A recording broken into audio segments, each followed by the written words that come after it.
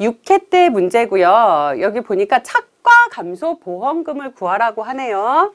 여기 보면 어, 착과 감소 보험금을 구하는데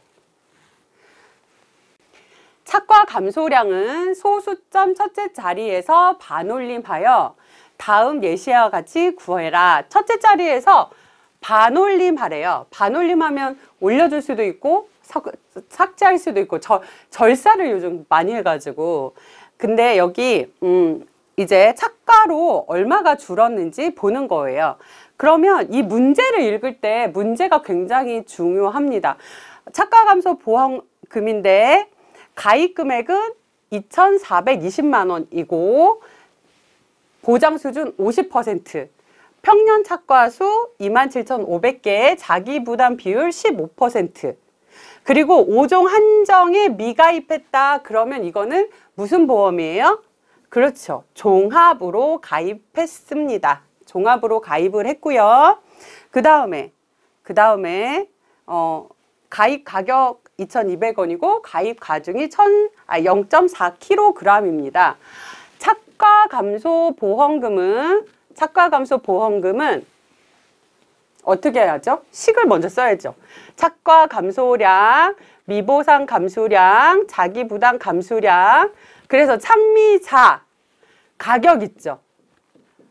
그 다음에 보장 수준 이렇게 있습니다. 그래서 보장 수준 여기 있고요.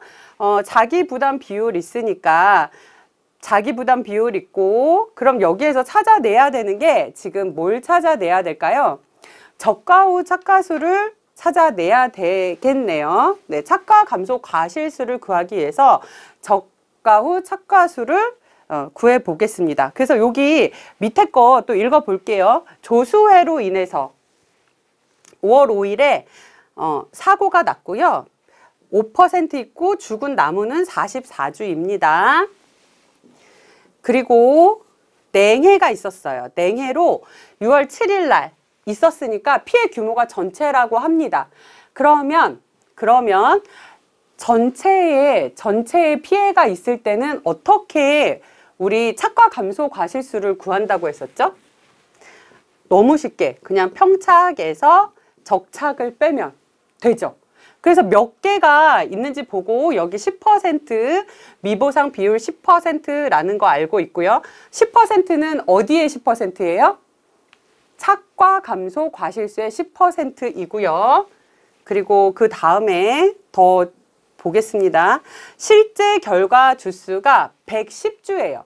근데 여기에서 이 110주가 굉장히 중요한 역할을 합니다. 조사 대상 주수는 어, 여기 실제 결과 주수 110주고 조사 대상 주수는 여기 아까 고사 주수 있었죠. 고사 주수가 어, 거기 보시면 몇 주가 있었어요? 44주 있었죠. 조사 대상 주수는 네, 요렇습니다. 근데 여기에 저가 후 착과수를 저가 후 착과수를 여기 그냥 줬네요. 몇 개 줬어요? 15,500개. 15,500개를 줬어요. 그러면 아까 우리 평년 착과 감소량은 착과 감소량은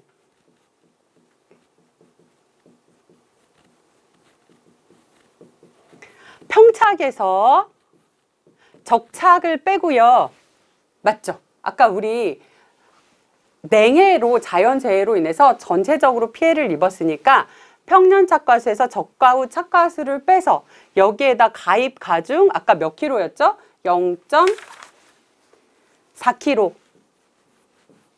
이렇게 구해서 뭐가 나왔냐면 아, 적 착과 감소량은 4,800kg이 나왔습니다. 요거 아시겠죠? 여기까지.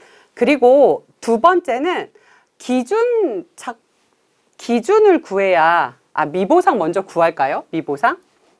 왜 미보상 먼저 구하냐면 창미자가 했으니까 미보상 먼저 구하겠습니다. 미보상은 아까 거기에 보시면 미보상은 10% 냉해 때 10% 있고 어, 거기 295페이지 책에 보시면 어, 10% 있고 그 다음에 조수회 때 5%가 있어요. 이런 경우에는 큰 값 쓴다. 큰 값 쓴다. 근데 만약에 검증 조사가 있었어. 그래서 검증 조사 했더니 8%래. 그럼 검증 조사를 쓰면 되죠. 쓰면 돼요. 근데 뭐 그런 거 복잡하게 생각하지 마시고 일단은 여기에서는 5% 나오고 10% 나왔으니까 미보상 비율이 아, 10% 쓰는구나. 여기 아까 계산해서 4,800kg 적과 후 착과 감소량이 4,800kg이었으니까 kg에 곱하기 0.1 미보상 비율 10%였죠. 이렇게 하면 몇 킬로가 나오냐면 480kg이 나옵니다.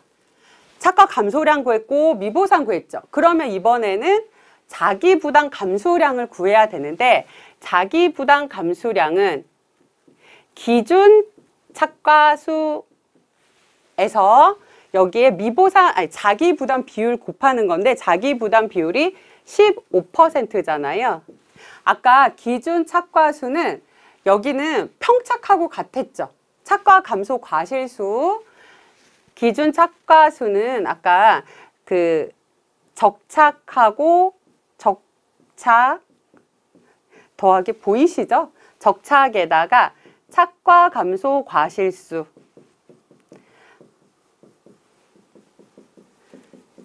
그래서 여기는 지금 어 27,500개 27,500개에다가 27,500개인데 27,500개를 그냥 쓰면 안 되죠.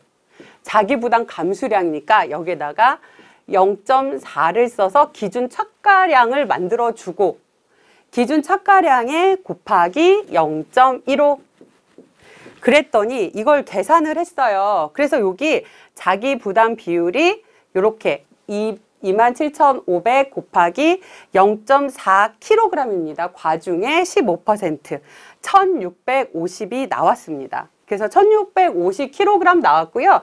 쓰실 때 순서 이렇게 순서대로 시험 보실 때 1번 착과 감소량, 2번 미보상 감소량, 자기 부담 감소량, 그래서 착과 감소 보험금은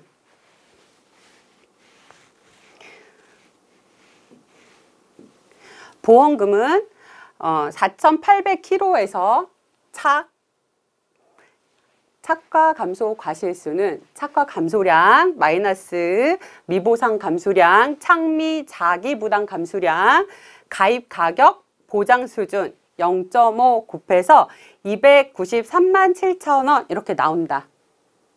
네, 여기까지 보시고 문제 보시고 지금 문제를 보고 답을 이해가 잘 안 되실 것 같아서 처음이어서 제가 이렇게 자세하게 설명을 좀 해드렸습니다. 다음 문제 보실게요.